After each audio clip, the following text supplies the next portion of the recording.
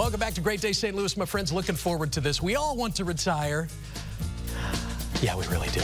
But there are so many questions that come with that looming goal of retirement, including the biggest question of all of them, right? How much money do I really need to comfortably retire? That's what our next guest is answering for us this morning, among other things. I want you to welcome to the show Aaron Lapidus of JBL Financial Services to the show. Aaron, very nice to have you here. Oh, thank you so much. I'm First really time excited. on Great Day, right? First time on TV. Well, well, oh my gosh, her television debut. You're going to be able to say that we knew you when, when you become a big mega I won't forget you. I believe it. So we're going to run down a list of the three top questions that you often hear from clients. And let's just start with the big Bertha.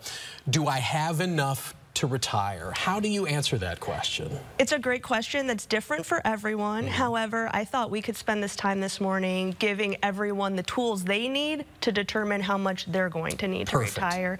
And we host a Saturday morning radio show on KTRS from 9 to 11, and we talk about these things all the time. We like to use examples, so I thought what a great opportunity to use an example with all of your viewers this morning. Let's do it. Yeah. So instead of thinking about how much I need to retire, mm-hmm. because most people think more is always better when we're saving for retirement, except for more is not really a goal. So let's really put some numbers behind where we want to go. And I think that takes a lot of the fear out of planning for retirement and also creates a little excitement because you have something to work towards. sure. So let's start with the easiest number. Everyone knows this. How much are you bringing home every month in your take-home pay? So that's net.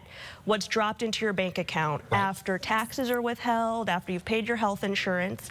Let's just say you're spending five, you're bringing home $5,000 a month. Okay. So what we want to do in retirement is we know we're going to have to incorporate taxes. Right. So let's increase that by ta- for your tax rate. I'm going to use 20%. And if you're at home, you want to do this math yourself as well. Take that 5,000 or whatever your take-home pay is, Mm-hmm. increase it by 1.2%. That's 20% for taxes. That'll give us $6,000 in this example. Okay. Now, the number that most people forget to subtract is what are your fixed income that will be coming in in retirement? For Things most like Social Security. Exactly. uh, uh, IRAs or 401ks or whatever the case. Yeah, really your fixed income would be Social Security. If you have pension, maybe you have rental income because you have some rental properties, whatever you know for sure will be coming in. Okay. So let's just say we're going to take 4,000 off of that 6,000 number. So we started with six. That's our gross income need in mm-hmm. retirement. Mm-hmm. We're going to take 4,000 away for your fixed income. Let's say that's Social Security. Right. That leaves us a deficit of 2,000 a month. Okay. That's what you'll be responsible for making up once you stop working. So 2,000 times 12, that's an annualized number. That'll be $24,000 a year. If I multiply that by 25, that gives us 600,000. So in this example, if you're spending 5,000, if you're bringing home 5,000 a month, that means you're probably spending about five. Hmm. Right. Most people spend what they bring Yes, in. yeah. We want to reincorporate taxes for that by 20%. That gave us six. We subtract out our fixed income expenses, our fixed income number rather, Social Security, pension. We get our deficit, multiply that by 12, Right.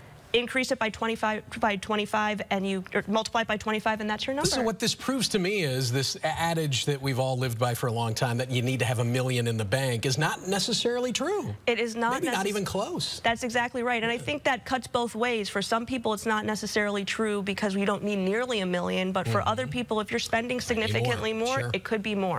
How can JBL Financial Services help out our viewers in retirement? How can they reach out to you guys? So super simple. You can go to our website, jblfinancial.com. Click on the upper right-hand corner. There's a Contact Us button. You can reach out to us for a coaching session. We'd love to sit down and chat with you if you're within five years of retirement, getting ready to retire, or you're already retired.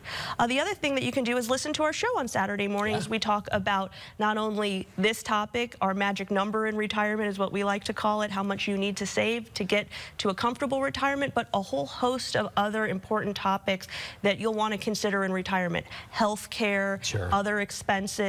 Uh, It's a very things like holistic approach you have to take. That's exactly Thank right. Thank you, Aaron. Great to meet you. It was so nice to be I here. listen to the show, by the way. I'm a fan. You can get in contact with JBL Financial by phone at 314-863-0008 or find them on the web. The website is jblfinancial.com.